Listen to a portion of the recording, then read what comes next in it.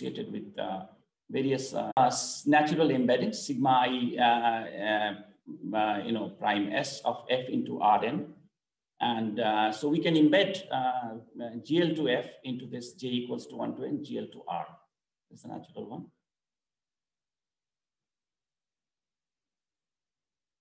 So whenever if gamma is uh, Aij is in GL to F, so gamma, sigma 1, sigma 2, these are the embeddings. So it will be denote, uh, so this will denote the matrix Aij1, Aij2, etc. So this is in the product now. So each is coming from one of these GL to R. So that will be the uh, conception where your Aijn is simply sigma m Aij. This m will be the mth embedding that will be indicating.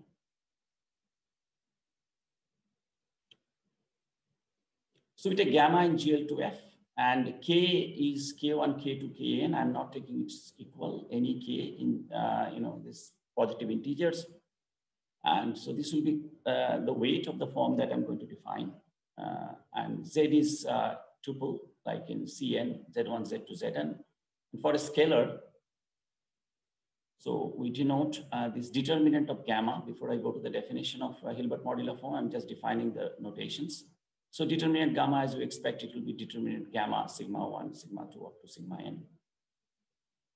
And CZ, this is the script Z that is written, will be C1, Z1 plus D1 up to Cn, Zn plus Dn.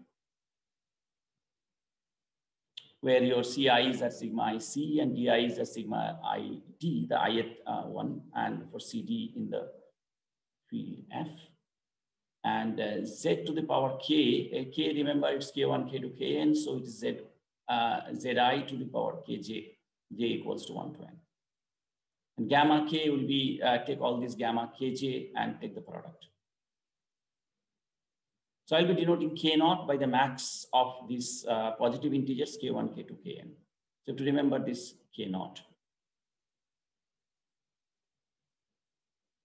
And AK is simply A to the power, you take this uh, sum here, uh, Kj, J equals to 1 to N. Okay, so this is the notations that I uh, need uh, while going ahead, defining uh, what is an Hilbert modular form. So we start with H, the Poincare upper plane, and we consider the n copies of uh, H. And there's an action of GL2 plus Rn via component wise, and each component it is the Mobius transformation that we know. This will be my action for uh, on Hn, GL2 plus Rn. And the classical modular form, this is the definition that uh, classical modular form of weight K on gamma In, this is a holomorphic function from Hn to C. And uh, such that I know it, uh, when you apply this gamma on Z, it uh, transforms like that. The symmetries are like that. This is determinant gamma to the power minus K over two Cz plus d to the power k f of z for all gamma in gamma in. So again, space of such forms of weight k and level n, n is this ideal, remember, or Gothic n, whatever you call it, is denoted by mk gamma in, standard notation. And actually, if you are uh, not taking q, f is uh, uh, not equal to q, then the usual requirement of holomorphicity at the cusps is not needed for Hilbert modular form. So there's something called Koecher principle, which assures that it always has that. So this is a classical modular form definition. And uh, such a function f has a Fourier expansion of this form. Uh, so uh, c of psi, x trace of psi z. So I'll just define here x is the standard notation e 2 pi ix. And trace is simply you take the sum of all these embeddings, sigma j theta zj, sine zj. And uh, so the summation runs over zero also, and the totally positive elements of this. So totally positive means, as I told you, that uh, uh, the size are totally positive, that when you go to apply this uh, embedding, it goes to R and should be positive. Okay, and in the Fourier expansion, if uh, the, the, the, constant term is zero, not there, then it, it is called a cusp form. Okay.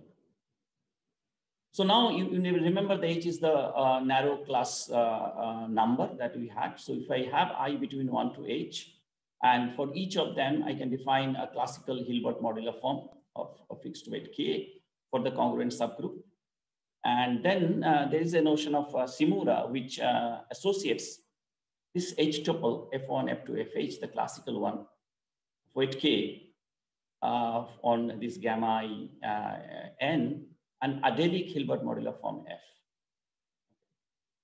And this uh, adelic form, so each, this tuple H will be associated to one of these adelic Hilbert modular form. And it is well known that this is an automorphic form on GL2AF, uh, where your F is the Adele ring of F. Adele ring people who are, uh, uh, you know, young students. It's just the, uh, you know, the restricted product of uh, the field with uh, take it completion with respect to all the valuations, some restrictions. So this is the language which helps you, you know, associating with a lot of other uh, arithmetic and uh, can help you to prove many results, which otherwise might be difficult to do it for individual classical forms. So this will be my notation for the space of adelic Hilbert cusp forms of weight k and level n. They will be denoted by sk, uh, this n, similar notation. Now there is a one uh, natural question will be there. What is the relation? So a CMF will be the Fourier coefficients of this adelic uh, cusp form that Hilbert cusp form that I'll be uh, using for F. And you remember that AI psi will be the was the uh, Fourier coefficients of the classical forms for each I. So they need to have a relationship between the CMF and this uh, individual Fourier coefficients of the classical form. And this is the relationship. Sometimes I'll be writing CFM. So just sometimes it is like this. So this is AI psi, psi to the power minus uh, uh, K naught by two. Remember K naught is the max of K1, K2, Kn. Uh, a norm, the usual norm of this in, uh, integral ideal M over K naught by two. So that's the relationship. And uh, uh, so for, for each integral ideal M, that's what it holds. Where M has some form, psi, Ti inverse, you remember, Ti is one of the representatives of those H classes that we had for the narrow class group. Uh, for uh, unique I and for some totally positive element psi of F. So that's what M should will turn out. So this is the relationship between uh, this uh, Fourier coefficients of the adelic Hilbert form, uh, modular form, and uh, for the classical ones. That will be utilized. Okay, so this is the setup that uh, that uh, uh, I wanted to put in front of you, and I'll be working in, in this setup. And uh, the fundamental result that was in the uh, in the introduction I was talking about is this fundamental result. And I'll be the main part of the talk is an application, two applications, in fact, of this particular result. And so this is a this is the first work that I was talking about uh, with Rishabh Agnihotri, and this has appeared in Ramanujan Journal. So this is the result. And uh, I'll not be going into any kind of, uh, you know, just I'll be using this result to show in front of you two applications of this result. So F and G are two adelic uh, Hilbert primitive cusp forms. So they are Hecke eigenforms, normalized Hecke eigenforms. So suppose F is a positive smooth, what is called the uh, uh, cutoff function, as a nice function which has, which has support on half one, this closed interval. So F is, will be always this, uh, this F will be always for be this smooth positive cutoff functions that will be used. And X is totally positive. This is the notation for totally positive. So F and G are two adelic cusp forms, Hilbert cusp forms. This is a smooth, uh, positive smooth cutoff function and this x is totally positive, then for any c, if you take it from half and one, and for every epsilon uh, uh, positive, so there are possibilities that you have f is equal to g and f is not equal to g. So when if f is g equal to g, so then always there exists uh, a constant a f is the form that we are talking f is equal to g now. And this is the cutoff function that will be mentioned bigger than zero such that I'll come this. This is uh, just to tell you that, you know, we are uh, looking into the square free uh, integral ideals. So these are square free integral ideals. Square free means, you know, uh, you have this integral ideal, then you have this unique uh, expansion, unique uh, factorization in terms of prime ideals. So no prime, I mean, the exponents are all one. So that's what square free, the usual generalization of square free uh, integer. Uh, so this, this uh, hash indicates that these are square free, and this simply means that it is generated by MNN. So uh, the absolute value of CFM square, and this is the cutoff function. So I have this constant times X, and this is uh, uh, big O of, so we have to, this norm of this N, the level comes up here. This K naught is the maximal maximum K1, K2, Kn, and uh, n is that uh, degree of the extension that we had. So this is, this is the result for uh, when f is equal to g. And when f is not equal to g, then uh, uh, you know CFM, CGM, again, this f of norm of M by x is um, this, there is no constant term here. Uh, the AFF doesn't appear, so it's big O of this. So x to the power c, I just want you to look at these exponents a bit because this will be, the, uh, will be used in the later part.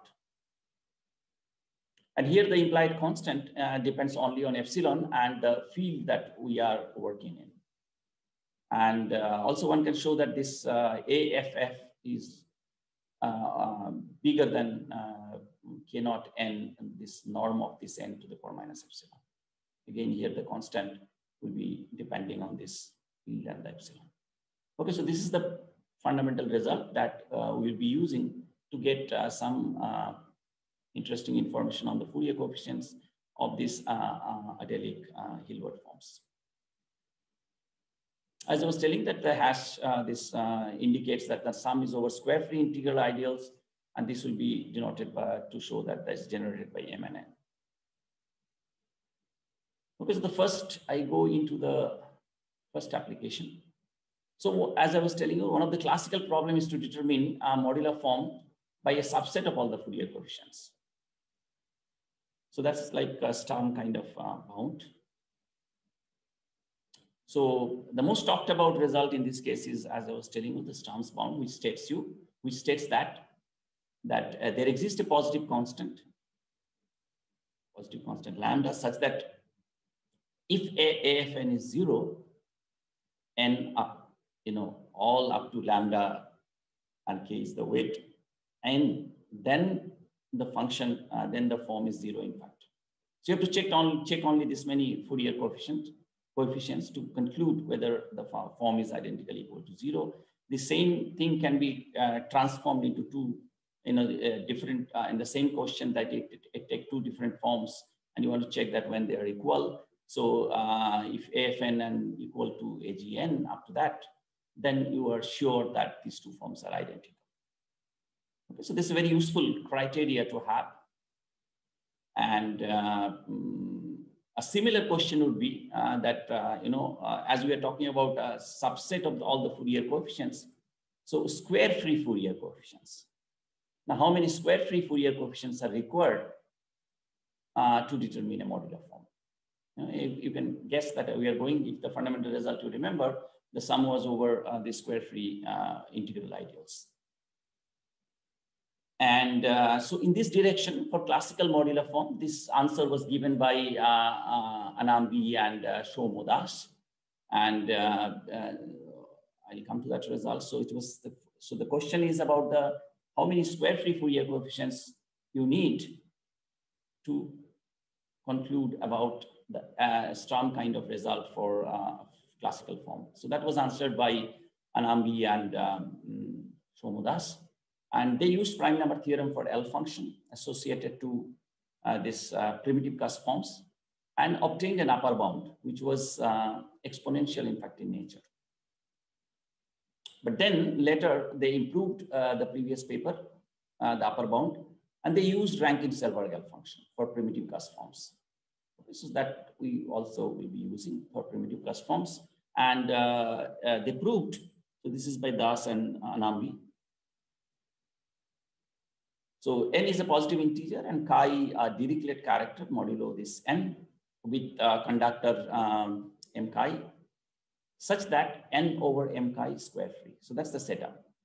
n over m chi is square free and take any form in skn chi uh, uh, which is non-zero and fix an epsilon bigger than zero. Then there exists a square free integer n. So this is the bound k to the power k is the weight 3 plus epsilon, n is that uh, you know conductor, 7 over 2 plus epsilon, 7 by 2 plus epsilon. So you have to check up to that, such that AFN is non-zero, where the implied constant depends only on epsilon because it's a classical form.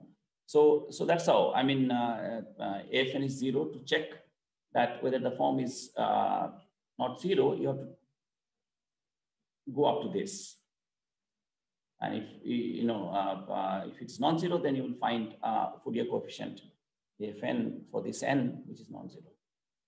Because this this, this was the classical result, which is not too long ago and it was by Das and Anamby. And uh, so we, we considered the same problem for Hilbert modular forms, for those, uh, you know, those adelic uh, Hilbert modular forms. Okay, so the setup has to be a little bit, let's remember that uh, this is a non-zero, uh, non-zero, uh, this uh, adelic Hilbert cusp form. Uh, this is my, our weight square free level. Now I have square free level. I just explained that the, in the unifactorization, no exponents are all one for the prime ideals that you have. And uh, this is an integral ideal. And uh, so this is the norm of this uh, integral ideal that we're talking. And uh, uh, at K as we have decided that uh, it's the maximal um, and the maximum of this K1, K2, Kn. So this is the result. That we take uh, adelic uh, Hilbert plus form non-zero with these Fourier coefficients, CFM. Then there exists a square-free integral ideal, M, with uh, the norm is bounded by this k naught, k naught is the maximum, now maximum, maximal of these things. 3n plus epsilon, norm of this integral ideal, 6n square plus 1 over 2 plus epsilon. Remember that was 7 over 2 for them. Such that CFM is non-zero. And here the implied constant uh, depends on epsilon certainly and also on the field F that over that, uh, over which this is a totally real field of degree n of uh, uh, uh, extension degree n and over which we are considering this uh, Adelic Hilbert form. So this is a generalization, uh, is a generalization of uh, the, the result of uh, Das and Anamby for Hilbert modular forms. Okay, so I just give a brief uh, idea how the it's a brief. The main uh, in the in the in the paper, the main part, main work was there to really prove that fundamental result, and uh, this part is not so technical. So I thought of giving a little bit of flavor. So this is uh, the Rankin-Selberg L function, F tensor G. So F and G are two primitive cusp forms in SKN, and we consider this Dirichlet series. That, so I'll define what is zeta Fn 2s, a CFM CJN by, uh, you know, this, uh, uh, we have taken two primitive cusp forms and we are considering them separate norm of m to the power s. And uh, so this part I'll just define in the next year thing. Uh, and this is, this part I'm calling RS F tensor G. This is an L function that I'll be considering. And another one is Ln. This is the level that we are talking about, S F tensor G. So this is for P dividing this particular uh, ideal, one minus NP one factor, another factor is alpha i p beta j. So this alpha, uh, alpha i's and beta j's are the roots of the quadratic polynomial uh, standard one, which is like x square minus this p at Fourier coefficient come plus psi p comes there, psi p zero or one. These are the roots. So there are two of them, f and g, so alpha one and beta 1, alpha 2, and beta 2. So this is my Ln. And uh, LB, uh, so these are few, uh, I'll give, you, uh, give the relationship between them. This is a bit of work that I've gone through in the paper. So LBSF tensor G is uh, 1 plus CPF CGF and not P to the power minus S. This is same as, uh, again, the hashes for that particular uh, notation that I defined CFM CGM by N, M to the power S. So These are the three uh, L functions where our zeta fn is simply the Dedekind zeta function in the field that we have, zeta f2s, and take all the uh, uh, ideals that divide uh, n, so 1 minus n, uh, norm of that ideal to the power minus 2s. So this is zeta fn for me, and rs f cross f tensor g is the rest of the, the L function, the, the, the, the, the next term is there. Okay, so this is my zeta fn. And uh, this, is, this is the following relationship between the above uh, this Dirichlet uh, series that we have defined. So Ln SF cross G, some work is there. So it is L S F cross G, F tensor G times some uh, nice, uh, nice Dirichlet series, which is absolutely convergent for real S bigger than half. So this L, Ln ln s f tensor g is same as ls f tensor g times a nice Dirichlet series and L to the, the B s f tensor g is simply ln and ln already I know. So again, I will have this uh, HS there and uh, so fs and HS are Dirichlet series which are absolutely convergent for this uh, plane. So that can be shown. So let us define this L infinity, another one. I'm coming to this uh, uh, result of Shimura. So L infinity S F tensor G is uh, this gamma uh, product of the gamma factors with this power of uh, this pi comes there.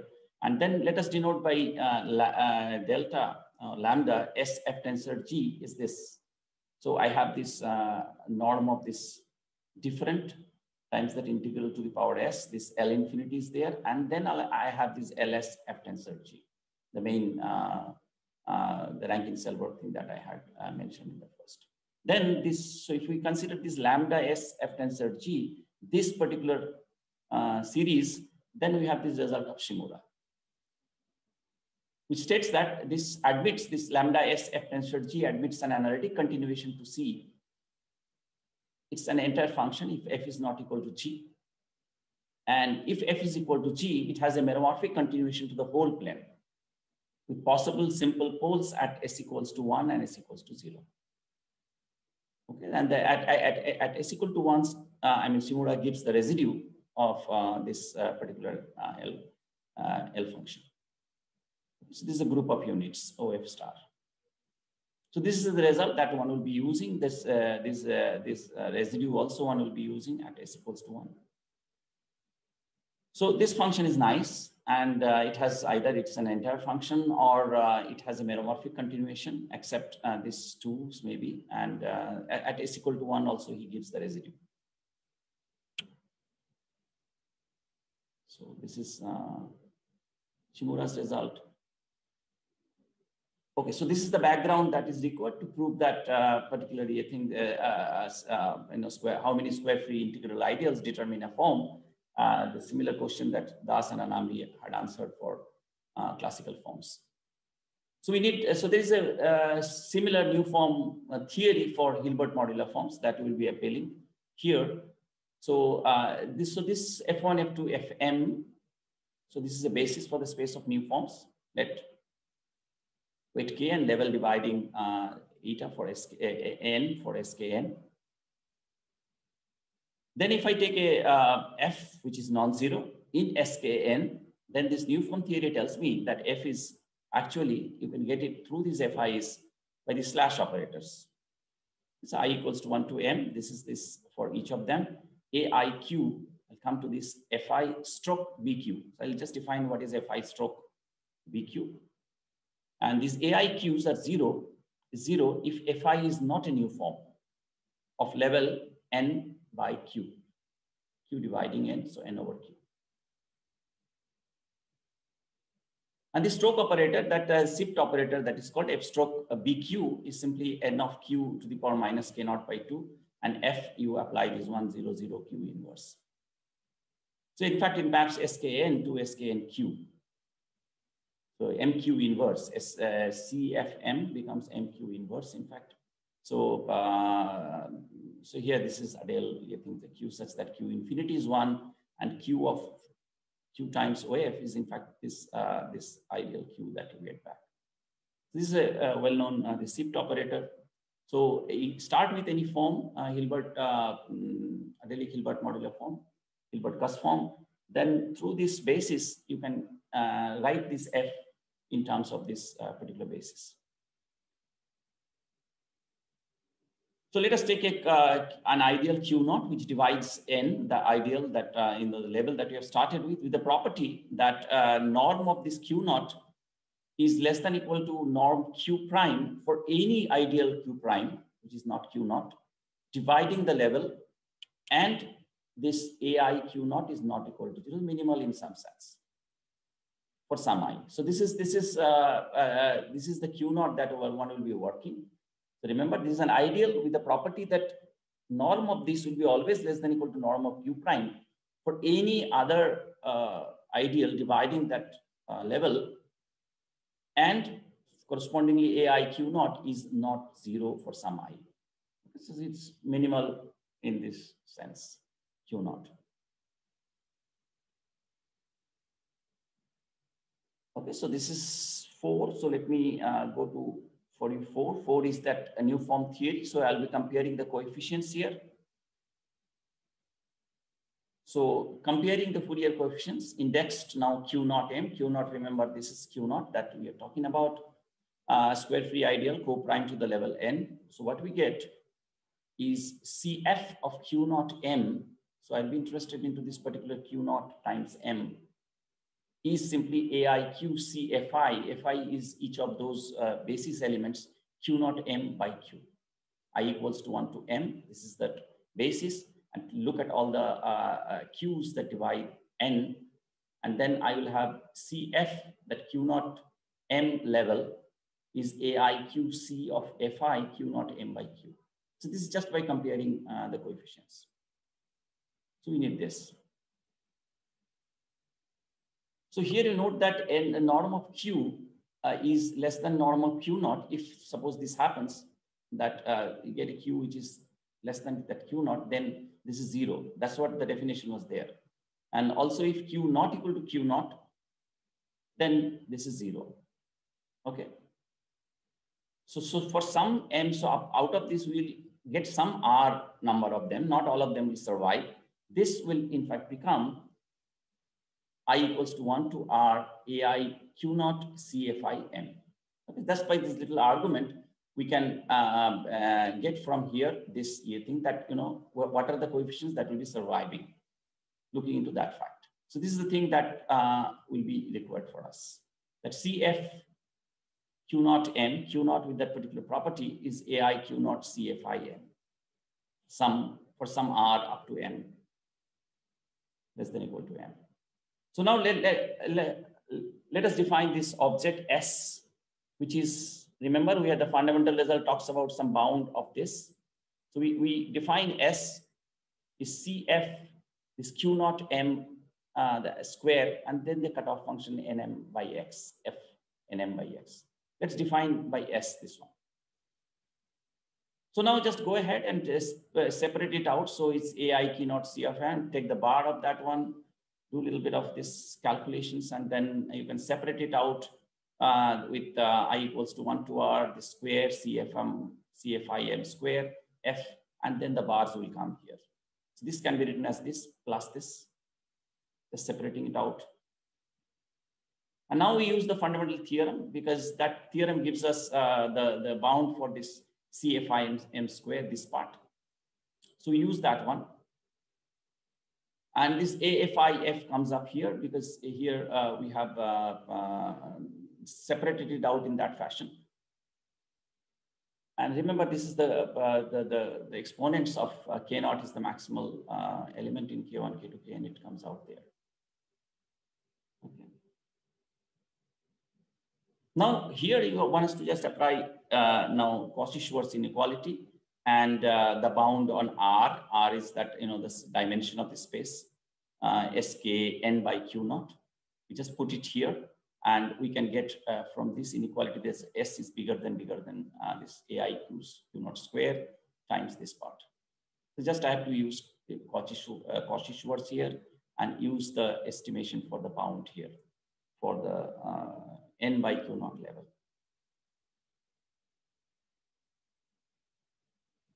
Now, since the, here, this is independent uh, of the choice of, uh, you see here, choice of that particular uh, cutoff function f. So we can choose as uh, whatever is convenient for us. We choose in such a way so that f is between zero and one. And uh, this CF Q naught M absolute value square norm of x between x by 2 and x is bigger than equal to this particular term. Now we I have to just choose uh, I, I have to choose my x and the c properly so that the right hand side becomes positive and I have the result. Right? Because it is CF Q naught M absolute value square is what I get. This part is positive. So that uh, so that's how it has been uh, it's it's been proven using this Rankin-Selberg and using uh, this fundamental result that I had quoted uh, in the beginning uh, to get, uh, you know, how many Fourier coefficients, getting some bound on the, some form of a number on the number, uh, you know, in terms of the norms that you have to check so that to check the form is non-zero. So this is the first application and that I wanted to show you. And the second application is about the changes of sign, sign changes of the Fourier coefficients that I was telling you. So this in this, this word contains, this is a part of that one and also in some form of arithmetic progression because you remember we are talking about the, uh, the, the narrow class group. So we have defined the, uh, uh, mm, uh the arithmetic progression by taking it, each coset of this. Uh, it's just some somewhat generalization of what we have arithmetic progression in term when we have integers. Similar to that, so this is one result and the other result I'm not coming. So that is an arithmetic progression. So this is about, uh, so uh, this is a joint work with uh, Krishnarjun and Agnihotri. This is in communication. Uh, so again, F is a, a primitive adelic Hilbert form as we have defined with this weight and level is an integral ideal n. Then this sequence, these are the Fourier coefficients you remember. CMF has infinitely many sign changes where M runs through the square free integral ideals of F. Okay, so to uh, and uh, uh, so whenever you say infinitely many, so can you get some kind of quantitative uh, result?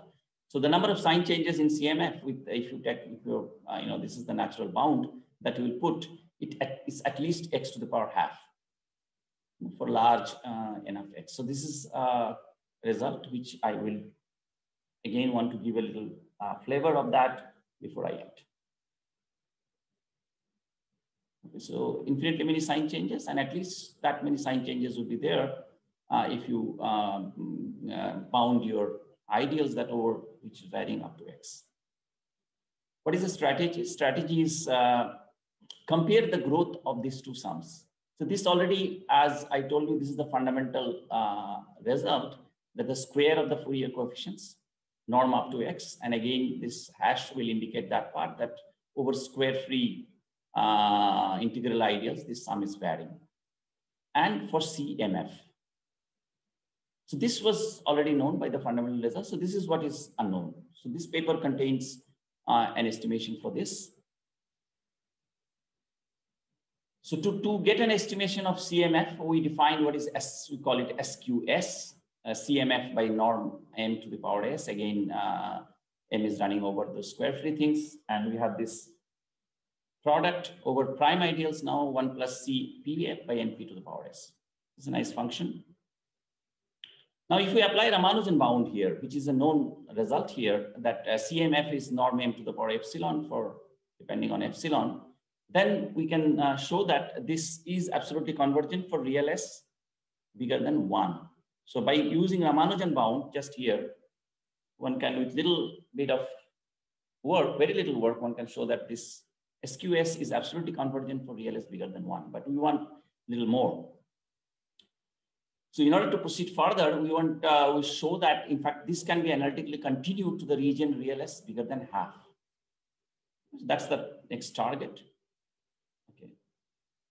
So with, with this in mind, to this end, we uh, let us define this uh, dr. You know this goth rs again. Some idea will be there. So take all the CMF by n m to the power s and take all the divisors uh, of this uh, ideal divisors of this m and then this is same as, uh, you know, uh, this CRMF by NRM to the power S. So this is my DRS. And then a little bit of work, uh, you can, uh, one can easily show that SQS is in fact, SQS, remember, this is the thing that uh, we want to, so SQS uh, is for me this, CMF by NM to the power S is the product.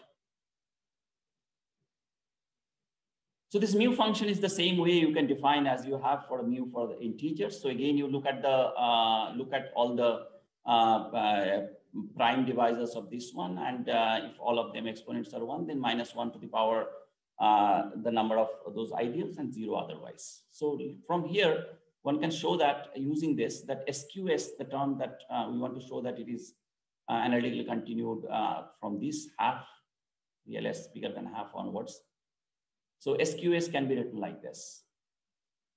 And suppose if we define our SPS, this P is uh, CPF square by NP to the power 2S, and their psi star is simply uh, the adelic version of what is called the adelic, uh, adelic Hecke character. So not going into that one, norm P to the power minus 2S and CPF by N uh, P to the power S plus 1. Suppose I define SPS by this. Then this is some work to show that SQS, in fact, LSF times, uh, you know, product over all primes, one plus SPS. So this is, this is the benefit of that one. And here on the right-hand side, the product is, uh, the product on the right-hand side is absolutely convergent for real S bigger than half. Okay, so that's the upshot from here is that SQS has an analytic continuation to the plane real S bigger than half. Okay. So we are able to show that one, that it is absolutely convergent. Uh, I mean, it's analytic, you can analytically continue it to the plane from uh, real S bigger than half onwards.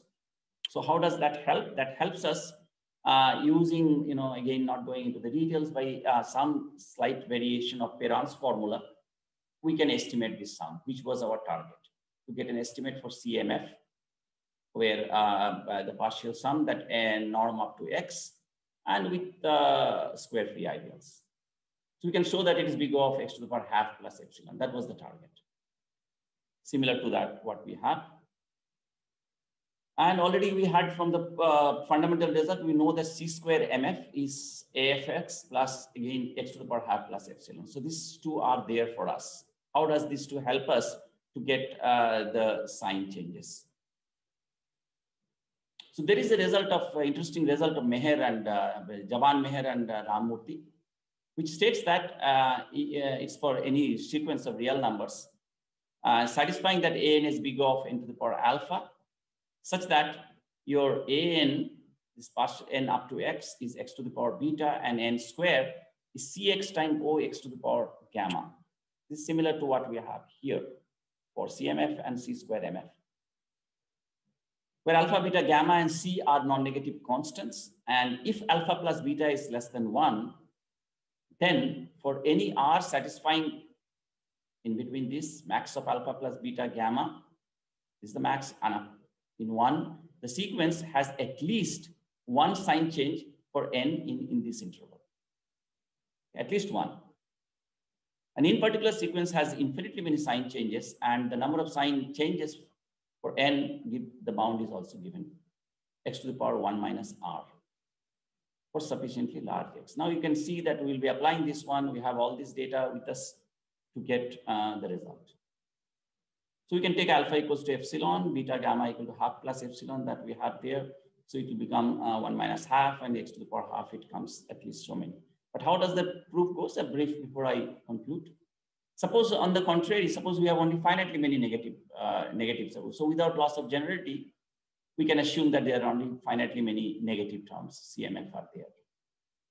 So therefore, if you go to a large uh, X, you'll have all positive things there. Whenever NM is, uh, let's say this interval X, X to the power R, where R is, uh, you know, uh, less than, uh, is, is maybe other way between one and a half. So we have this result already uh, from our uh, uh, previous discussions. And the fundamental result tells you the other way around that x, uh, r is bigger than half. We have x to the power r is less less c square mf. That gives us the contradiction that uh, this thing that we have started with, that uh, the, the, the, there are only finite many.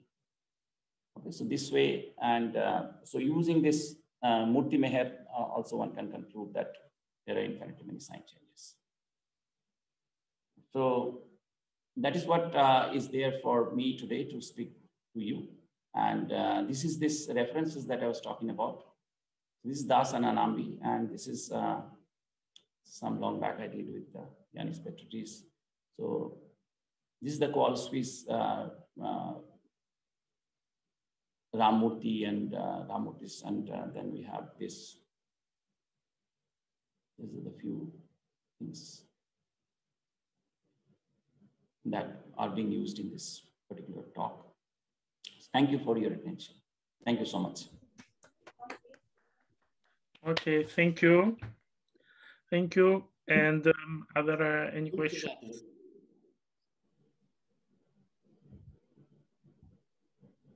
There were many questions and comments uh, during uh, the talk. Well, I did not want to interrupt the speaker. Yeah, yeah, let me see if I can. Yeah. Achha, uh, there are. Now maybe some people, uh, if, uh, well, it seems that uh, they've uh, successfully answered uh, more or less all the issues already in the comments. Maybe maybe there are still some more questions. Maybe Zeev, you, you have a question? Bell is in the mail. Bell is in the mail. Yes, in the mail. Zeev is there. Some, some questions from Zeev. That would be interesting. Uh, so you have sent me some mail, Zeev, or? Uh...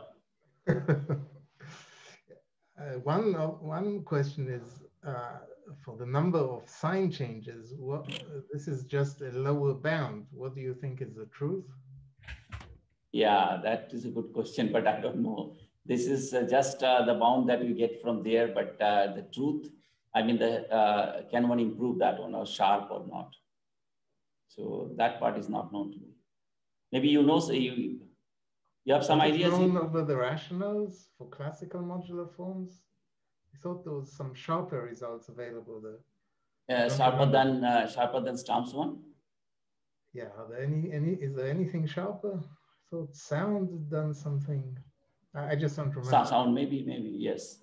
Yeah, I, I remember seeing something that's improving that uh, particular bound. Yeah, so that's a good good query. Maybe one would try to see if one can improve that. Yeah, no, I just doesn't come to my mind right now. If in the audience, someone can answer. Okay, uh, there is Akash Singha Roy who wants to ask a question. Please, sure. uh, please unmute yourself. Yeah, you can unmute yourself, Akash. Unmute yourself, please. He's muted. Uh, hello, sir. Thank you for the beautiful talk. Uh, oh, sir, so I had just uh, I just had a small question about theorem three. Uh, theorem three was talking about that uh, sign changes, huh? Okay, so let me uh, go into theorem three. Yes, sir. I think so. Yeah. No, Apart that was non-zero like C or M. Ah, okay. So it's just. This is theorem three. Yeah. Yeah.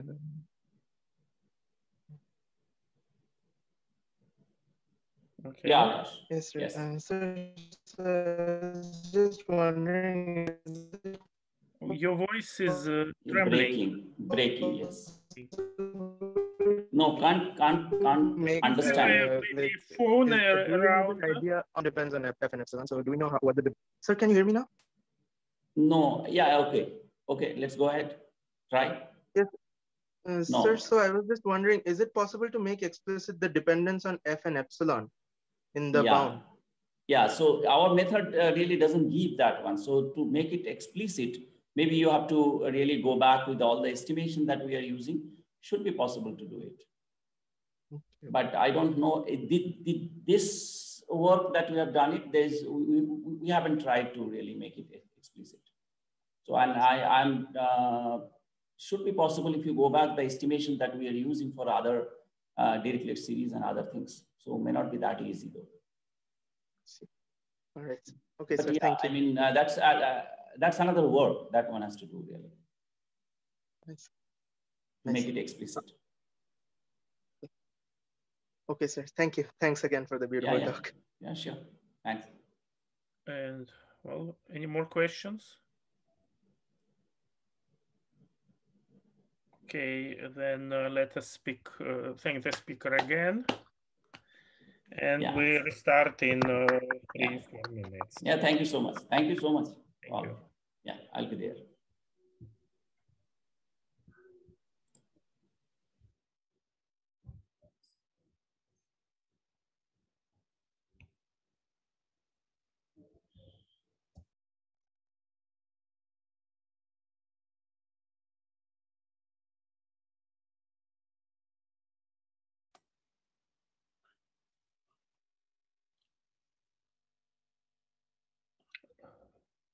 Michelle, are you here?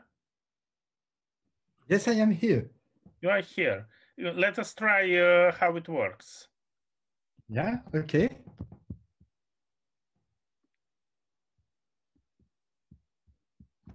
So do you like me to share my screen? Yeah, well, uh, depend. Well, how other um, are you going to give your talk? Uh, well, you will have yes, to. I... Yeah, you can share your screen. Uh, yeah, okay, very well.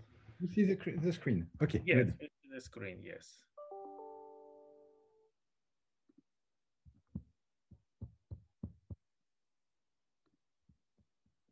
Okay, good. Uh, hello, Michelle. By the way, Yuri, uh, yes. I, I am supposed to speak uh, how long? I think it's 50 minutes. 50, okay. Yes. 50 minutes. Uh, I prepared too many slides, so at the end I will just uh, skip. Okay, you'll just cut off. Uh, well, I think you certainly don't have time for 100 something slides. Yes. Yes, 104. Yes, which is too much, but uh, I, I, I think my, the file is on my website, so people who are interested to get uh, more information can just uh, download the, the file. Okay, so at some moment you will have just to wrap up and. yes, exactly. At, at the end, I, I will see it, it's easier for me to, to have more slides. Hi, Michelle. Thanks for the nice video. Excuse me, Balu? Thanks for the nice video on the. Yes, yes. I, I was sure, sorry I could not attend it, but yeah. uh, after that I received the, the record and I looked at uh, part of it and I saw that uh, my video was, was, there. So I was glad that I could uh, participate. Yeah. It, it was a short uh, speech I gave, but uh, we have so many uh, memories together and so many experience. And yeah, I, I, am very glad that I have the opportunity to to participate to to this conference now. Yeah, that is true, but it is not really a, something like an offline conference where we can spend some time together. Right? Well, hopefully, in five years, it will be okay. Okay, thanks for your 75th birthday. okay, good. So let us continue. Well, our next speaker is Michel Waldschmidt from uh, University Paris 6. Uh, oh, I don't know how it is called now, but well, for me it is well, in fact, yes. yes. Sorbonne uh, University now. Sorbonne but, University or whatever, yeah. Uh, yeah, is uh, he will speak on Schanuel's conjecture, the well algebraic independence of transcendental numbers. Okay, please go ahead, Michel.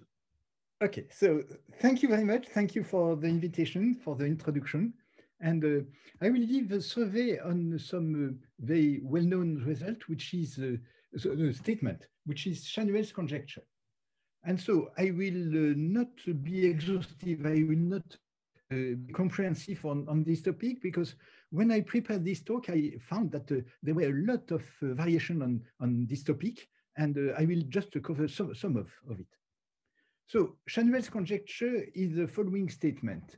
If you take complex numbers x1, xn, which are linearly independent of a q, and if you consider the two n numbers x1, xn, exponential x1, and exponential xn, among these two n numbers, at least n are algebraically independent.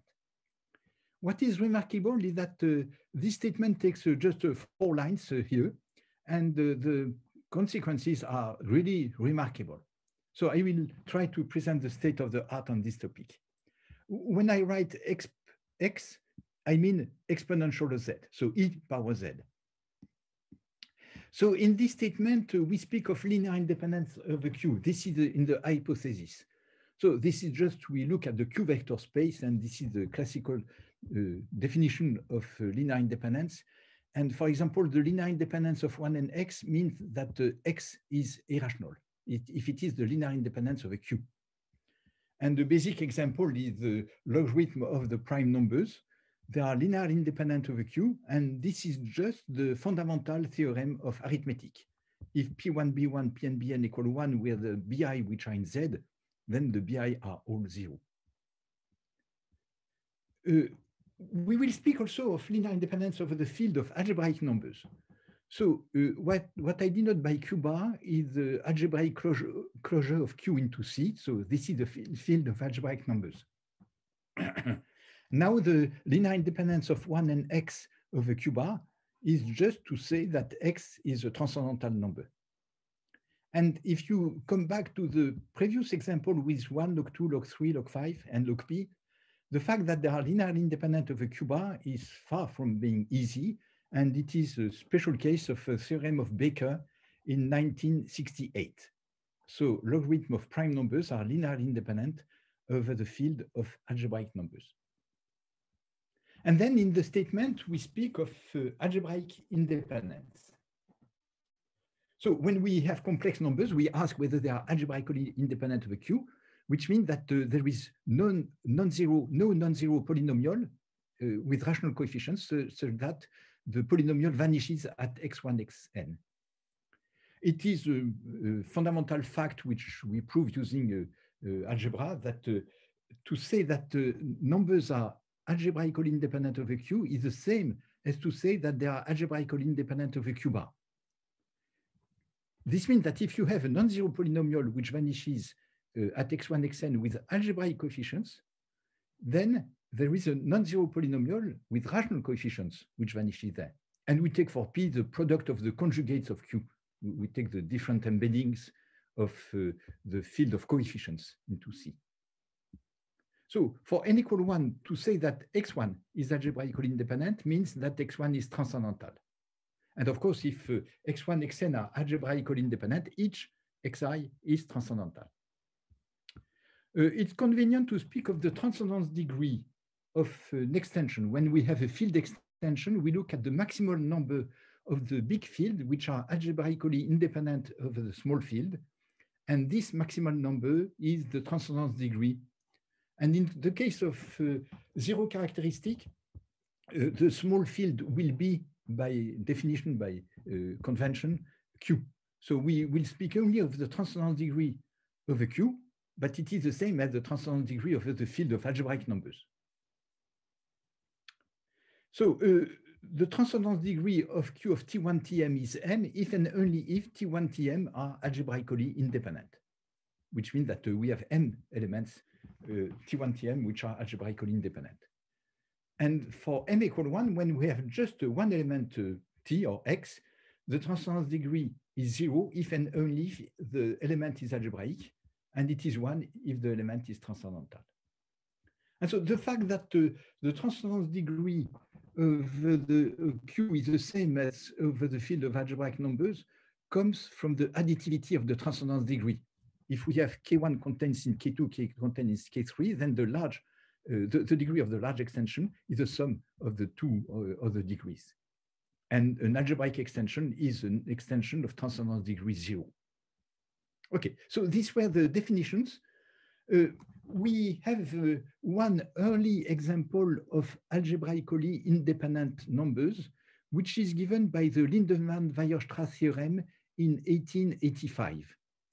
If we have algebraic numbers which are linearly independent, beta 1, beta n, then the exponential of beta 1 and exponential of beta n are algebraically independent. As I said before, they are algebraically independent over Q, which is the same as over Q bar. So this uh, statement is one of the very few statements of uh, algebraic independence, but the fact that it was possible to prove that is due to the fact that the algebraic independence of exponential is the same as linear independent of the exponential, because when you take monomials, you get another exponential. And so there are some equivalent form of the Lindemann-Weierstrass theorem. The one which I stated before is when you take beta 1, beta n, which are linearly independent of a q, the exponential are algebraically independent of a q or of a q bar, and the converse is true. But this statement is equivalent to linear independence. You take algebraic numbers and gamma 1, gamma n, the exponential are linearly independent if and only if the gamma are distinct. And what is interesting is that uh, you see here that uh, in this statement to say over Q or over Q bar for algebraic independence is the same, but to say linear independence over Q or over Q bar is not at all the same. But it turns out that it is equivalent because of the equivalence between the two statements. Uh, if you have the uh, linear independence of Q, then you deduce the algebraic independence statement here over Q, and therefore over Q bar, and then you come back and you have linear independence of a Q bar. Okay, so uh, I would like to explain the history of uh, conjecture going back to a paper by Gelfond in the compte rendu de l'Académie des sciences de Paris in 1934. It is just a one-page paper, which is really remarkable. You see, this is just uh, the statement which I will explain. And uh, I suppose that uh, even with the screen, it's not easy for you to, to read it, and especially it is in French. So I translated it for you and I enlarge it. And uh, so the next slides are just to, to repeat what was in this one-page paper of Gelfond. So the uh, the note in the compte rendu of Gelfond is the following. Let P be a polynomial in uh, n plus m variables with rational integer coefficients. You take algebraic numbers alpha and beta, the beta are different from 0 and 1, and you look at the polynomial at the point exponential of alpha 1, exponential of alpha n, this is for the x, and log beta 1, log beta m, this is for the y. Assume that, uh, well, the, the this uh, equality equals zero is impossible if you assume that the numbers alpha 1, alpha n are linearly independent over the field of uh, rational numbers and the numbers log beta 1, log beta m also. So this is the first statement. And uh, Gelfond comments, this theorem includes as special cases the theorem of Hermite and Lindemann, the complete solution of Hilbert's problem, this was the transcendence of uh, alpha to the beta, or the, the fact that uh, log alpha 1 over log alpha 2 is, is transcendental if uh, it is irrational. The transcendence of the numbers exponential omega 1, exponential omega 2, where omega 1, omega 2 are algebraic numbers, and the theorem on the relative transcendence of the number e and pi. We say now the algebraic independence of e and pi. So this is a claim by Gelfond. But there is a second claim which is that uh, if you take the iterative exponential where the omega are algebraic numbers, and you take the alphas like this, here it was with E, the basis of exponential, but here it is with algebraic numbers. With this condition on the alpha, then these numbers are transcendental and they are algebraically independent. Among numbers of this form, there is no non-trivial algebraic relation with rational integer coefficients. Well, at that time, there was a competition between uh, Gelfond and Schneider because they solved uh, at the same time and uh, more or less independently Hilbert seventh problem. So Gelfond wanted to say that uh, he's uh, ahead on, on, this topic. But uh, when he said that the proof of this result and few other results on transcendental numbers will be given in another journal. Uh, we, we are still waiting for the proofs of, of this result.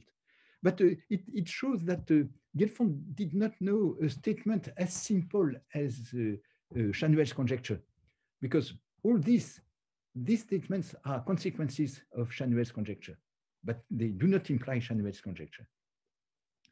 Uh, also, Martin Heblo pointed out to me that the condition on alpha 2, alpha 2 different from 0 and 1 in this statement here is not the right one. It should be that alpha 2 is an irrational number, algebraic irrational.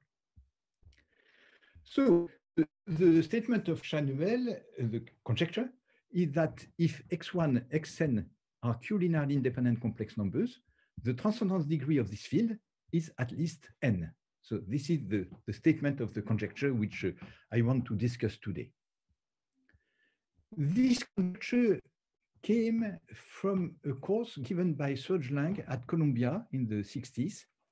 And uh, well, many mathematicians attended this course. Uh, for example, Nagata attended this course and made some conjecture at, at, this time, which was solved by Bombieri. And so uh, this conjecture was not published by Schanuel himself, but it was published in the Book of Lang, Introduction to Transcendental Numbers. There are some formal analogues of uh, Schanuel conjecture, and the first one was a theorem due to Ax, which is a version of Schanuel's conjecture for power series over C. And Coleman uh, uh, uh, gave a, a, proof for power series over Cuba. I mentioned some work by Brownawell and Kubota on the elliptic analog of Ax theorem. Uh, was a student of Schanuel. So there, there, would be a lot of uh, things. A, a, full lecture could be devoted to Ax theorem and variant. So this is a picture of Brownawell and uh, Schanuel. Uh, especially method from logic has been developed by uh, Hrushovski, Zilber, Kirby, and uh, many others Hrushovski introduced the predimension function and Zilber the pseudo exponentiation. And I just give some reference here to papers by Kirby and Zilber, and then Zilber, and then the Wilkie.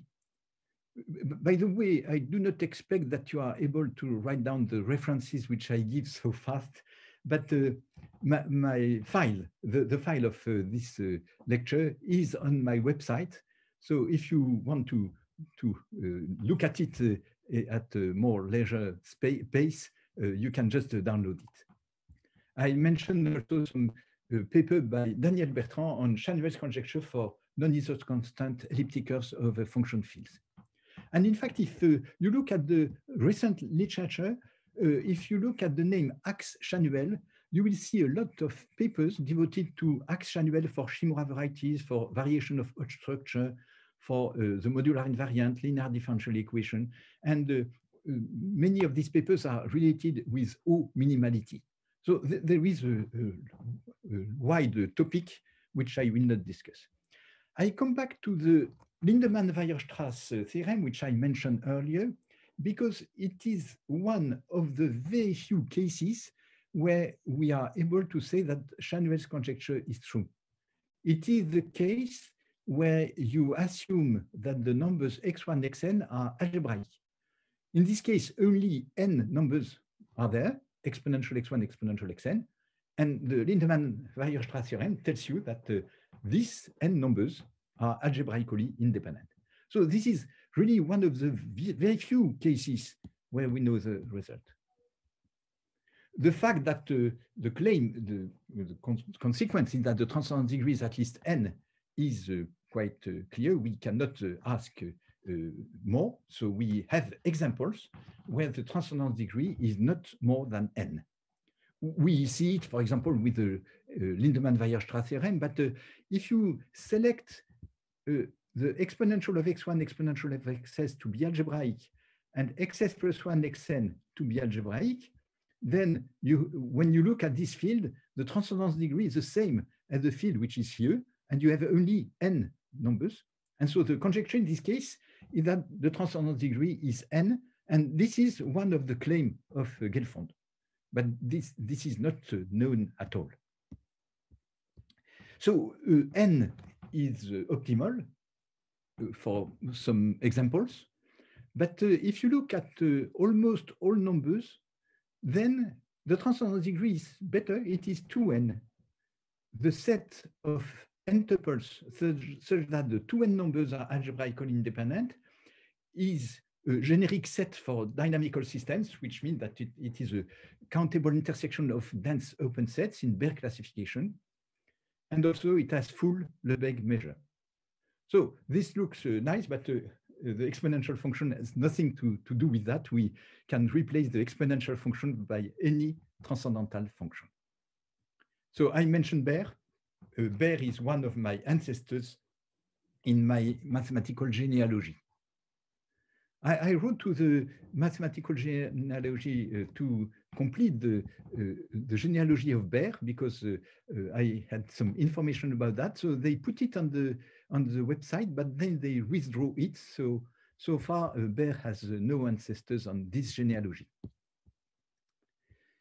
I would like to mention some joint work which I made with uh, Senthil Kumar and Thangadurai, where we ask that the x, x1, xn, and the exponential are Liouville numbers. And we can ask, in this case, what is the transcendence degree of this field? And we can show that if you choose m between 1 and n, there exist uncountably many tuples such that the x and the exponential are Liouville numbers, and the transcendence degree is just n plus m. So this uh, shows uh, this is a, a, nice result, but uh, it's not. Uh, th th there is one uh, gap, which is that here we ask m greater than or equal to one, and so we would like to know whether it, it works for m equals zero, and even the, the simple problem to prove that there are Liouville numbers x such that exponential of x and x are Liouville numbers and the two numbers are algebraically dependent we, we were not able to, to solve this problem. So this will be my first uh, open problem. Well, not really the first, because the very first one is uh, Schanuel's conjecture, of course. But this is uh, one challenge to, to, to decide whether there are Liouville numbers uh, x and exponential of x, which are algebraically dependent. Let us look at uh, some special cases of uh, Schanuel's conjecture the, the first natural case to look at is n equal 1. And n equal 1 is, is solved. It means that uh, if you have a non-zero complex number, then one at least of the two numbers x and exponential of x is transcendental. This is Hermite-Lindemann theorem. So uh, the consequence, consequences of uh, Hermite-Lindemann theorem are the transcendence of uh, e pi log 2 exponential of square root of 2. So this is a, a, a, nice situation, but as soon as n is at least 2, uh, conjecture is open. So let us look at the case n equal to, you have two numbers x1, x2, which are linearly independent, and you have four numbers x1, x2, exponential x1, exponential x2. And the conjecture is that at least two are algebraically independent. Of course, we know that one at least is uh, transcendental, and even two of them between x1 exponential x1 and x2 exponential x2. But to prove that they are algebraically independent, uh, it's open. And such a statement would have a lot of uh, consequences, which are still open. The algebraic independence of E and pi, the algebraic independence of E and exponential of E. We do not know whether exponential of E is transcendental. The algebraic independence of log 2 and 2 power log 2, we do not know whether this number is transcendental or even irrational. And the algebraic independence of two logarithm of algebraic numbers, which is one very important open problem, which I will discuss later. Uh, it's easy to deduce many consequences of Schanuel's conjecture. You write some numbers using the numbers e, pi, the logarithm, and the exponential. And uh, so I just uh, put randomly some numbers like this. And then it's a nice uh, exercise to prove that uh, all these numbers are algebraically independent. Uh, so you see, you, you can build a lot of uh, examples like this, but what is remarkable is that Schanuel's conjecture implies anything like this. there is a, an example, an exercise in Lang's book, uh, Uh, which, which, is a bit puzzling, which is the following. You start with the rational number field, and you add to E0, which is Q, you add all the values of the exponential function at the algebraic point. You have a new field, which is E1, and then you add to the algebraic closure of E1 all the exponential of numbers belonging to E1. And you continue like this. And you take for E the union of all the En. And Lang suggest, uh, uh, Serge Lang uh, suggested that the conjecture of Schanuel implies that the number pi does not belong to E. And this is not such an easy exercise. And to solve this exercise, it's easier to prove something stronger, which is that using Schanuel's conjecture, the numbers pi, log pi, log log pi, and so on are algebraically independent of E. And uh, it turns out that uh, by induction, it's easier to, to prove this uh, stronger version. And in fact, uh, this uh, exercise was solved in a nice way. Uh, I will explain how it was done, but the idea was to introduce another field. Instead of using the exponential function, you take the logarithm. There are several values of the logarithm of a non-zero complex number, but you take all these values. And so the variant of Lang's exercise is the following. You start with L0, which is Q. You add to Q all the logarithm of algebraic numbers, each uh, non-zero algebraic number. Each non-zero algebraic number has several logarithms. You take all of them, which means that you take a 2i pi in the, your field. Then you have a new field. You take the algebraic closure and you continue. So the, the y which I write here are the logarithm of algebraic numbers, the logarithm of the element of ln minus 1. You take the union, and the analog of uh, Lang's exercise is to say that uh, if you assume Schanuel's conjecture, the number E does not belong to L, to this big field, the L-like logarithm, and more precisely that uh, the numbers E, exponential of E, exponential of exponential of E, and so on, are algebraically independent of L. Uh, so a solution of both exercises was obtained uh, in uh, 2009 by uh, a group of students who attended the Arizona Winter School in uh, 2008. And uh, the, the solution that they give is to prove that, uh, uh, assuming Schanuel's conjecture, the two fields E and L that I introduced are linearly disjoint over a Q-bar. And uh, for solving this problem, they got the help of Georges Racinet. So there would be a lot of things to say on, on this contribution, but uh, I just uh, mentioned that uh, recently there was an Abelian analog of Schanuel's conjecture, uh, which was discussed by Philippon, Saha, and Saha, and uh, they solved the analog of the problem which I mentioned with uh, E and L, but it was in, in the Abelian case, in the case of Abelian varieties. And the generalization of this was done with the help of Cristiana Bertolin, and this was published very recently uh, on the semi-Abelian semi analog of Schanuel's conjecture and application. So instead of Abelian varieties, we take uh, uh, semi-Abelian varieties. Now, uh, to prove uh, Schanuel's conjecture, one needs to prove results of algebraic independence. The first result of algebraic independence was the Lindemann-Weierstrass theorem. And then there were a lot of contribution by many mathematicians. And I will uh, start by explaining the contribution by Gelfond. There was some contribution by Siegel using E functions, which goes in a slightly different uh, direction. And I, I, give here two references on uh, algebraic independence. Uh, one, which is the uh, encyclopedia by Feldman and Nesterenko, edited by Parshin and Shafarevich, and the other is uh, Nesterenko and Philippon, a lecture notes in mathematics. So the very first important step uh, for algebraic independence was something which is called now small transcendence degree. It was done by Gelfond in 1948, and Gelfond uh, proved the algebraic independence of two numbers which are some specific numbers, but this was the first step of uh, whole theory, which uh, is very active nowadays. And these were the numbers 2 raised to the power cube root of 2 and 2 raised to the power cube root of 4. And Gelfond proved that they are algebraically independent. And more precisely, if you take numbers of the form alpha power beta power i, where i is between 1 and d minus 1, d is the degree of beta and d is at least 3, among these uh, d minus 1 numbers, two at least are algebraically independent.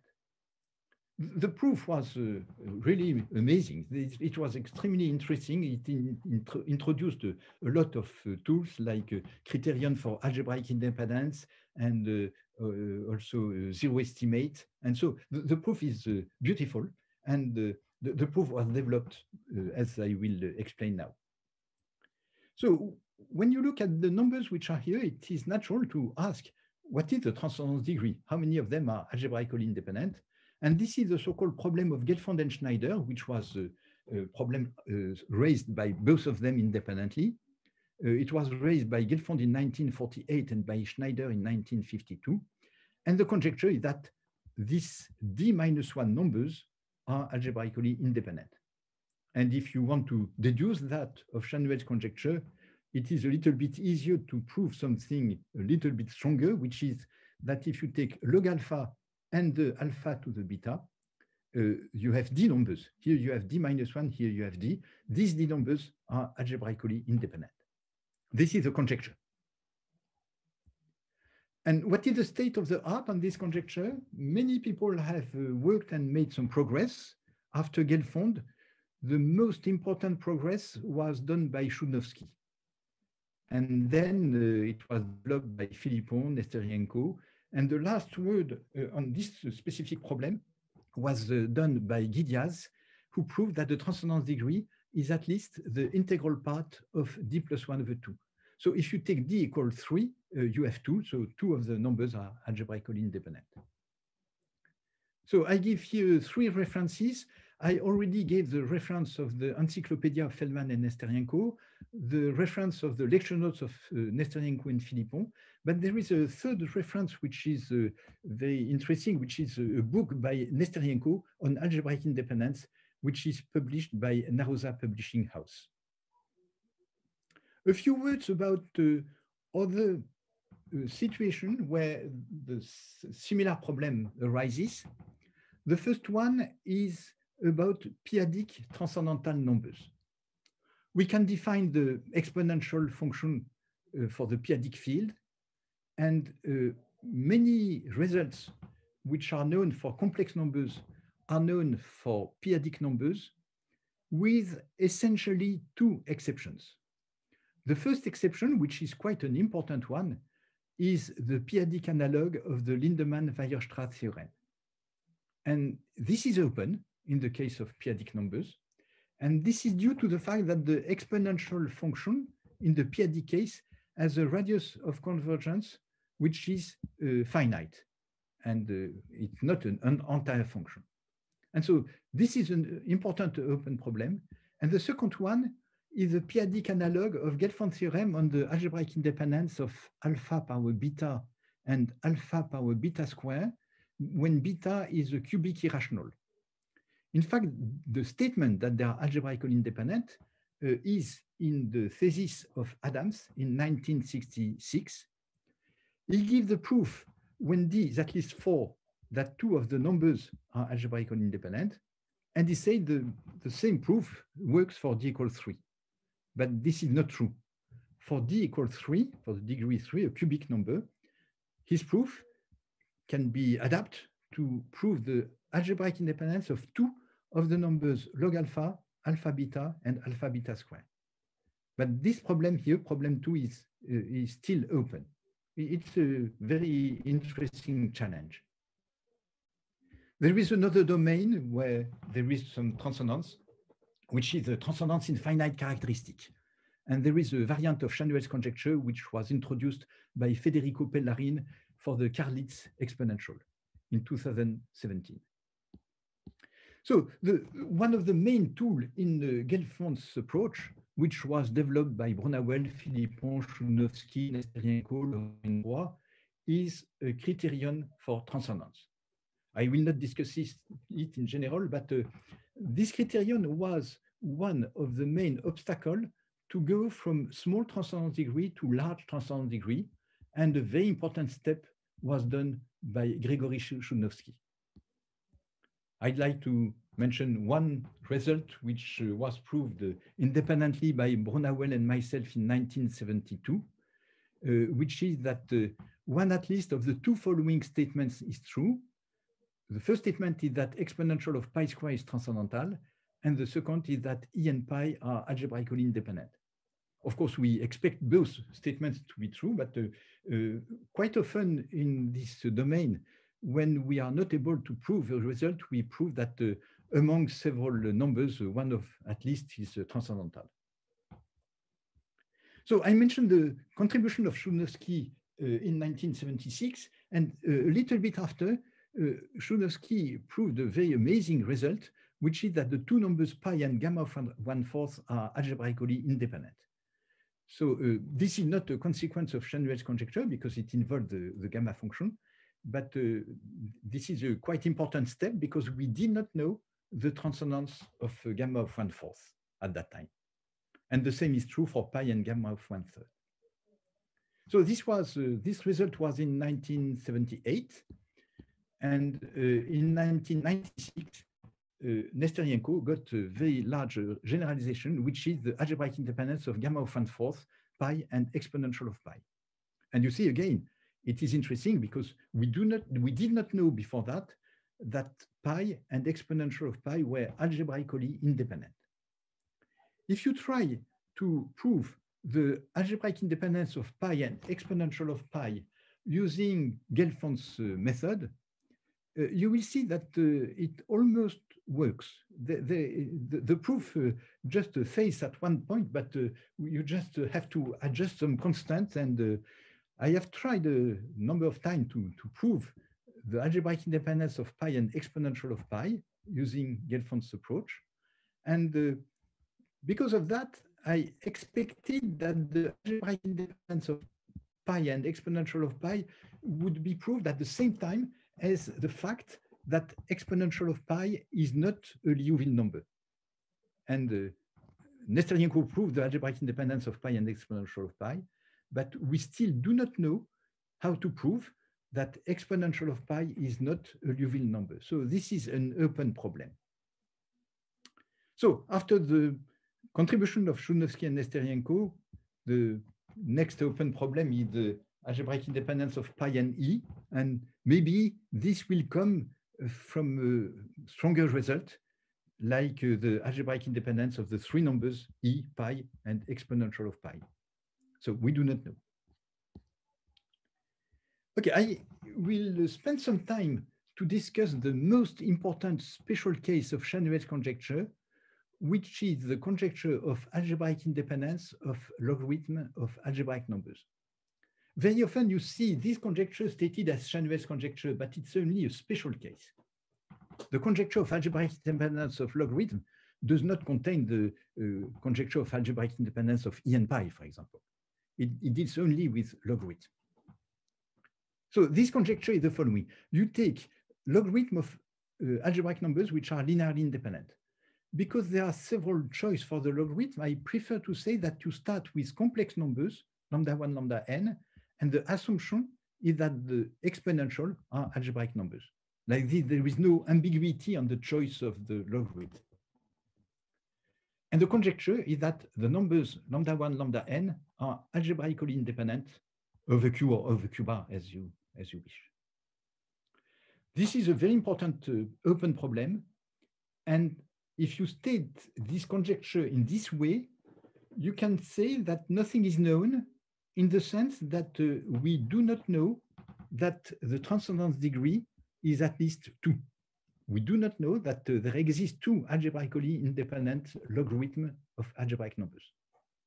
And I want to explain that uh, when you have a problem on which you know nothing, uh, you can change a little bit the way to state the problem in an equivalent way, and then say, oh, we, we can see something.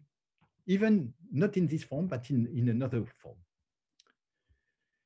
The result of the fundamental result of Baker on linear independence of logarithm of algebraic numbers is that if logarithm of algebraic numbers are Q linearly independent, then they are Q bar linearly independent, even with one. So the conjecture of Schanuel is on algebraic independence. The theorem of Baker is with linear independence. And of course, it's a special case of Schanuel's conjecture. I like to quote uh, the notation of Baker theorem. I will use the notation L later. L is a set of complex numbers, lambda, such that exponential of lambda is algebraic. So this is the Q vector space of the logarithm of algebraic numbers when you take all the possible logarithms. And Serre states the Baker theorem by saying that the injection of L, it is a set of complex numbers into C, extend to a Q bar linear map from Q bar plus the tensor product of L with Q bar into C. But uh, the statement of Baker is that this uh, map, this injection extends, uh, is linear map. So I, I will uh, phrase the conjecture of algebraic independence of logarithm in another equivalent way, in such a way that for this equivalent way, we can say something. There are several uh, ways to, to do that. Uh, when uh, you look at uh, the conjecture of algebraic independence of logarithms, you say, we start with logarithm and we ask whether there is a polynomial which vanishes at the point lambda 1, lambda n.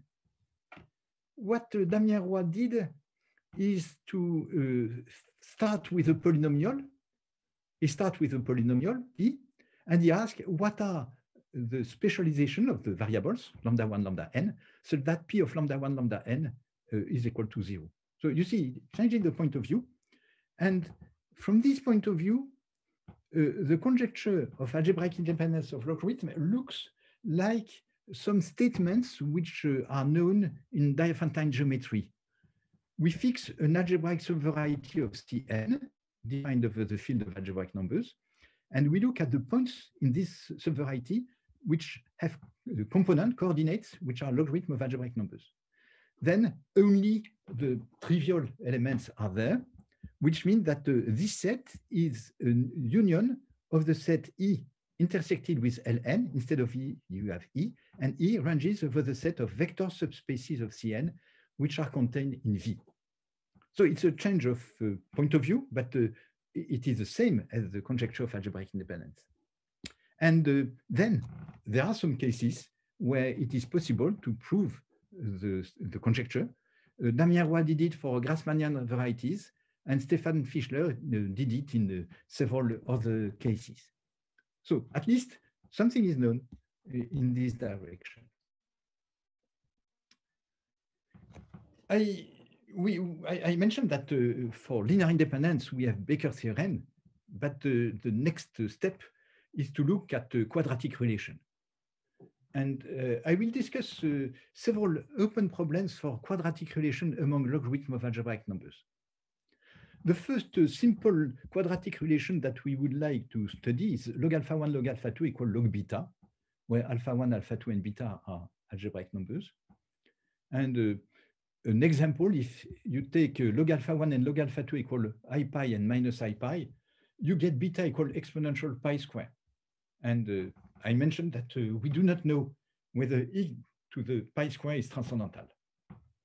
I mentioned before that uh, if it is algebraic, then e and pi are algebraically independent, but uh, this is unlikely. So even this uh, simple quadratic relation is not known we can look at the homogeneous quadratic relations. So the simplest one is uh, log alpha 1 log alpha 4 equal log alpha 2 log alpha 3. I write it like this because it is the same as the vanishing of the determinant of a 2 by 2 matrix. We have some uh, trivial relations, uh, like log 2 log 9 equal log 4 log 3. And the four exponentials conjecture is that this kind of relation are the only ones among this algorithm. If we have such a relation, then either log alpha 1 over log alpha 2 is rational, or log alpha 1 over log alpha 3 is irrational, or both. So this is the four exponential conjecture, which uh, arose from a paper by Ramanujan on uh, highly composite numbers. And uh, Alaoglu and Erdős in 1944 uh, developed the work of Ramanujan, and they faced a problem, and they asked Siegel whether Siegel was able to solve this problem, and Siegel said, no, I am not able to solve that. Uh, I, I, state a special case of the problem they raise. Uh, the, the problem of uh, Alaoglu and Erdős that they asked to Siegel was, you take a positive real number, t, and you assume that 2 power t and 3 power t are both integers. Uh, as a matter of fact, it was not 2 and 3, it was two prime numbers, but uh, let us take 2 and 3. The conclusion should be that t is an integer. And this is really the same as uh, before, because uh, you, you, you have the, if you take t equal log n over log 2, when you look at a 3 power t, it is exponential t log 3, which is n to the power log 3 over log 2. So it would give a relation, quadratic, homogeneous quadratic relation between four logarithms of algebraic numbers. And so uh, this problem is uh, not solved. It's uh, still an open problem.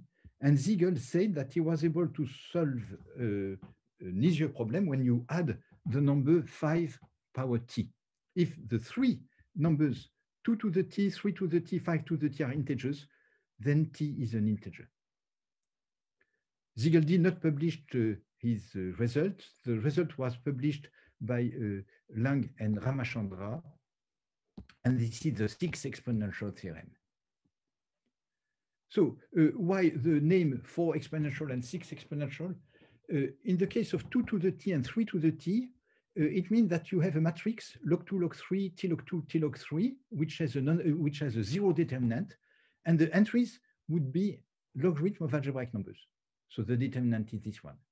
And if you write a matrix log alpha ij, and if you say that this matrix has rank one, it means that the alpha ij is of the form exponential xi yj. This is the rank one matrix, xi yj. And so you have four exponential.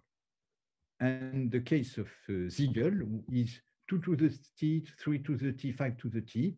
And so it is a 2 by 3 matrix, and you have six exponentials. So this is the name 4 and 6. So you see, uh, the four exponential problem uh, deals with the rank of a matrix with entries which are logarithm of algebraic numbers. And uh, from this point of view, something can be said on the algebraic independence of logarithms. And I will introduce what uh, Damien Roy calls the structural rank of a matrix with entries in L. So the entries are logarithm of algebraic numbers. So you take such a matrix, the entries are log alpha ij, and you look at the Q vector space, which is spanned by the log alpha ij. So uh, you have a dimension, finitely many of them, m, the dimension, and you write the entries as linear combinations with rational coefficients of the elements of the basis. After you did that, you replace the basis by variables x1, xm. And then you get a matrix with entries which are rational fraction. In fact, there are linear forms in x1, xm, but uh, I wish to consider them as the, in the field of rational fraction. You look at the rank of that matrix, and this is what Damien Roy calls the structural, structural rank of M. And it's an exercise to see that it does not depend on the choice of the basis. Now, the conjecture of algebraic independence of logarithms tells you that the, the elements of the basis, which are Q linearly independent logarithm of algebraic numbers, should be algebraically independent. And the, therefore, it implies that both matrices have the same rank. So I introduce here a more general definition, but uh, I see that uh, I already spoke for 45 minutes and I am uh, more or less uh, halfway of my slides. So I will not uh, say take too much time on that, but uh, I would like to say that uh, according to Damien Roy, the homogeneous case of the conjecture of algebraic independence of logarithm is equivalent to the fact that uh, if you have a matrix with logarithm uh, of algebraic numbers entries, the rank of the matrix is equal to the structural rank, which means that uh, if you want to solve the problem of algebraic independence of logarithm, you just have to look at the matrices where the entries are logarithm of algebraic numbers.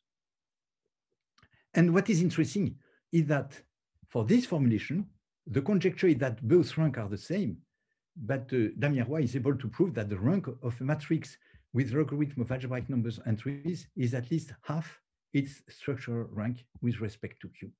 So something is known in this direction. We can say Sorry, that. Uh, can you specify what is structural rank? Yes. Okay. So I, I repeat what it is. Uh, I, I repeat it the showcase, which is here. I think it's easier. You take a matrix. The coefficients are logarithm of algebraic numbers. So you take a basis of the space spanned by the entries, a basis of a Q. And the elements of the basis, you replace them by variables, by indeterminates, x1, xm. Yeah, and then you have a, a, matrix with entries in Q of x1, xm. And this is the rank of this matrix is the structural rank. Okay? So it is quite interesting that uh, both statements are equivalent. In one direction, it's clear. The conjecture of algebraic independence implies that the rank is equal to the structural rank because the, the logarithm, the basis of the space uh, uh, should be algebraically independent. But the converse is true. And, uh, and even I, I, spoke of homogeneous, uh, uh, uh, the homogeneous conjecture of algebraic independence. If you do not want to have it homogeneous, you just add algebraic numbers or even only rational numbers here. And so uh, the lemma which uh, gives the equivalence between the two statements is, is a nice lemma which uh, is of independent interest.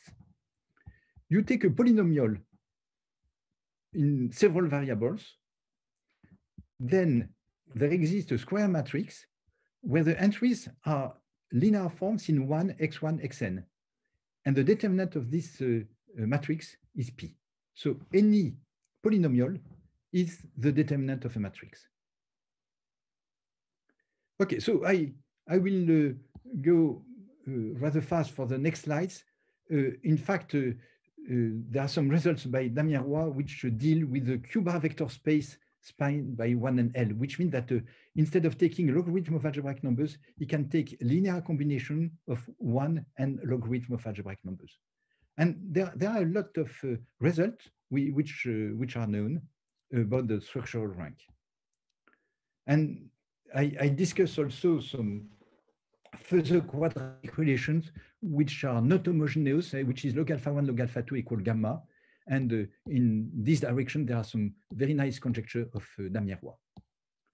Okay, so I, I will pass some uh, quite interesting approach of Schanuel's conjecture which is due to Damien Roy and uh, which gave rise to uh, further recent development by a student of Damien Roy, Nguyen Ngoc Ai Van, who got some nice result in this direction. Schanuel's conjecture occurs in many circumstances on the p-adic rank of the unit of an algebraic number field. This is uh, how I started to be involved uh, on, on, this topic uh, uh suggest, after the suggestion of my thesis advisor, Jean Fresnel so non-vanishing of, of regulator, non-degenerescence of height. There are some work in particular by Daniel Bertrand, and the conjecture of Mazur on rational point and Diophantine approximation on tori. So I just give two uh, uh, references here. Okay, I, I will uh, switch, uh, I, I, will pass uh, this uh, work of Bundschuh, which develops some consequences of Schanuel's conjecture. And in, in this direction, uh, there are a lot of, uh, of things to say, but uh, I am afraid that my, my, time is almost over. And there are some consequences of uh, conjecture dealing with, with the Catalan constant. I will just stop with this slide uh, where I uh, just mentioned that there are further application of Schanuel's conjecture one good reference is the book on transcendental numbers by Ram Murty and Purushottam Rath, where they discuss Schanuel conjecture and transcendental values of Dirichlet series, the Baker-Birch-Wirsing theorem, transcendence of some infinite series, of values of Dirichlet L function and value of class group L function. And so uh, you will see a lot of uh, further application of uh, conjecture uh, in this book. So I think uh, I just spoke for 50 minutes, so it's probably time that uh, I stop now. Thank you very much. So just my last, last slide. Okay, thank you. Thank you.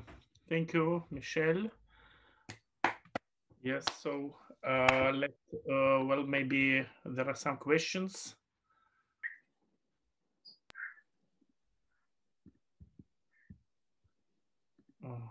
Okay. Uh, well, uh, would you mind? Yes, um, I had to. I had some postal delivery, and I had to um, leave for just one second. Where were you explaining this uh, lemma of uh, Damien Roy? Can you return to that slide? Yes. It, it's it's a nice result. In this one. Yes. Yes. So, mm -hmm. You take a polynomial with coefficient in a field k a polynomial in several variables. Oh, very good.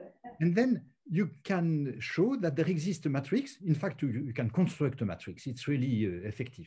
You can construct a square matrix. The coefficients of this square matrix are linear forms in 1, x1, xn. So they are polynomials of degree 1 in x1, xn. And the determinant of this matrix is p. Oof. It's quite uh, tricky. It's a, very nice. Yeah. Huh? There is an induction, and uh, okay, uh, one reference is my uh, uh Grundlehren. Uh, ah, in your Grundlehren book. -huh. Yes, yes. It, oh. the, the, the full proof is there with a lot of applications. Okay, wonderful. But of course, there is also some reference due to Damien Roy. Okay, thank you very much. Okay, more questions? Balu, you have a question? No.